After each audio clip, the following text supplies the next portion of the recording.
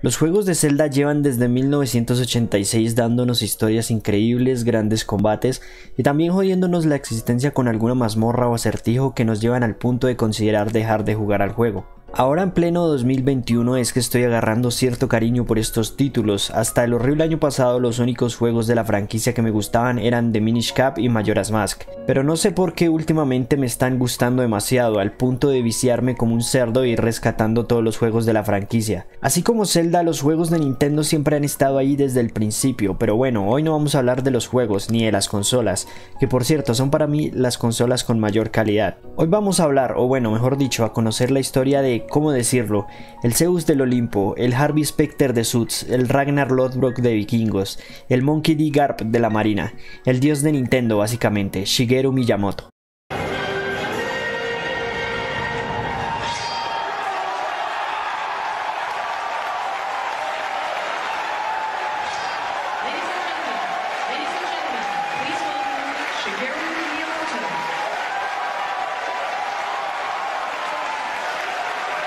Sí amigos míos, el día de hoy hablaremos de este señor. Bienvenidos al canal de Jimmy Neuronas y comencemos. Para darnos una idea del monstruo que es este señor, ojo, no monstruo en el sentido literal de la palabra, sino un monstruo del diseño, del arte, de la imaginación, de las ideas, de todo.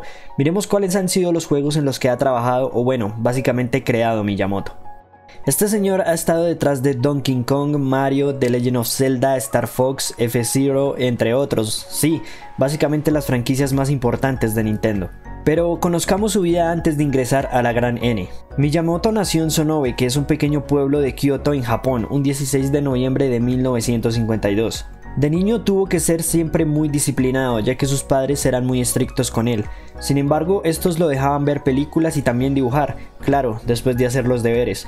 Normalmente le gustaba ver las películas de Disney e intentar dibujar los personajes, ya fuera a lápiz o con pinturas. También le gustaba salir a pasear, ya que cerca de su casa por el pueblo de Sonobe se encontraban varios sitios muy bonitos, como lagos y bosques. Además también se le daba bastante bien encontrar cuevas en estos bosques. También le gustaba el manga y dibujar historietas, pero a sus padres no les agradaba mucho ni el diseño ni el arte. Sin embargo, a los 18 años se inscribió en el Colegio Municipal de Artes Industriales de Kanazawa, porque quería estudiar diseño industrial, y gracias a los estrictos que fueron sus padres con él de pequeño le fue bastante bien, y a los 5 años consiguió su título. Estaba bastante contento, pero lastimosamente tenía una pasión, un título, pero no tenía empleo. Por aquella época las máquinas arcade empezaban a hacerse muy famosas, pero él no estaba interesado en lo más mínimo en videojuegos, ni siquiera en el diseño de estos. De hecho, Miyamoto lo que quería hacer era diseñar juguetes, y pues no le fue muy bien. Intentó dibujar manga, pero siempre tuvo miedo de que sus historias fracasaran, por lo que no quiso intentar una carrera como mangaka. En 1977 empezó seriamente en buscar empleo en otras áreas, ya que como diseñador no conseguía absolutamente nada. Sin embargo, su padre tenía un amigo que era presidente de una empresa y podría ayudar a su hijo con algún puesto para laborar allí. Y así fue, en ese mismo año Miyamoto conoce a Hiroshi Yamauchi y la empresa Nintendo, que por aquellos años se dedicaba a fabricar cartas para juegos de mesa y que pues estaban convirtiendo en un gran fracaso. En el momento en que Miyamoto ingresa a Nintendo, esta empezaría a incursionar en el negocio de las máquinas arcade, y pues su primer trabajo aquí sería el pintar los paneles de las máquinas que fabricaban. Además también conocería a una secretaria de la empresa con la cual más adelante se casaría, la señora Yasuko Miyamoto. Es entonces cuando una vez casados decidieron mudarse cerca de Nintendo, para que pudieran ir al trabajo en bicicleta o incluso caminando, y un tiempo después tendrían a su primer hijo.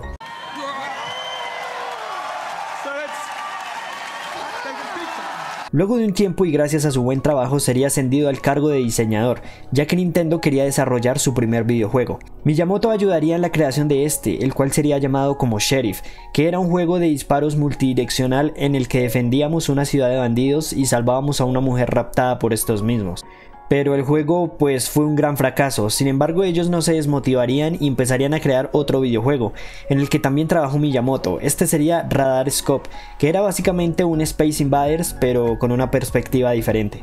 Lastimosamente fue otro fracaso para Nintendo. Es entonces que al borde de la quiebra el presidente Yamauchi le pide a Miyamoto que trabaje en un último juego para lograr conseguir alguna ganancia.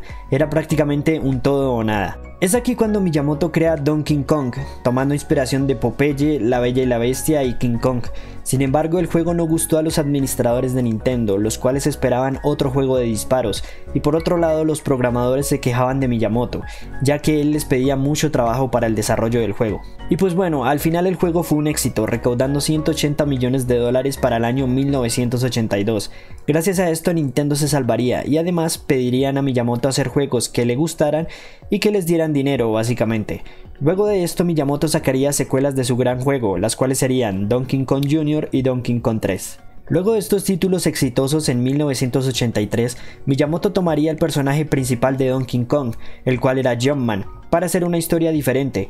En este caso cambiaría el nombre del personaje a Mario y también crearía a su hermano Luigi. También cambiaría la profesión de Mario de carpintero a fontanero e implementaría en el juego tuberías en forma de laberintos y lo llamaría Mario Bros, el cual pues bueno creo que no hace falta decir más. Poco tiempo después empezaría a trabajar en otra secuela para Donkey Kong Jr., así como también en Ice Climber y en el clásico Dog Hunt, y por si fuera poco trabajaba en el desarrollo de Super Mario Bros., que otra vez creo que no hace falta decir nada más.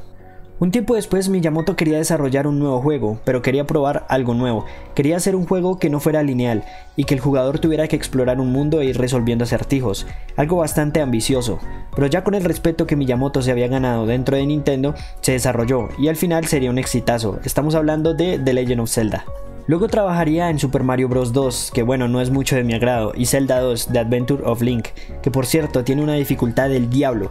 Y amigos míos, a partir de aquí seguirían el desarrollo de juegazos por parte de Miyamoto, como Super Mario Bros. 3, Metroid, F-Zero, Star Fox, Super Mario World, Zelda A Link to the Past, Super Mario Kart, Kirby, Zelda Link's Awakening y Super Mario RPG, por nombrar los más relevantes. Además de esto tendría a su segunda hija. Llegamos al año 1996, en el cual saldría la legendaria Nintendo 64, y aquí Miyamoto a sus 44 años nos daría lo que para muchos son los juegos más legendarios de Nintendo, Super Mario 64 y The Legend of Zelda Ocarina of Time, y que para el desarrollo de este último Miyamoto organizaría varios grupos de desarrolladores y directores para estos mismos. El plan de Miyamoto era que cada grupo realizara una parte del juego, y que luego al final se unieran todas las partes como si fuera un rompecabezas, y así finalizar el desarrollo del juego. Y que pues bueno, bueno, esta idea se viene utilizando hasta el día de hoy para el desarrollo de juegos incluso bastante famosos. Y además de esto estaría supervisando Mario Party, Super Smash Bros. y Zelda Majora's Mask.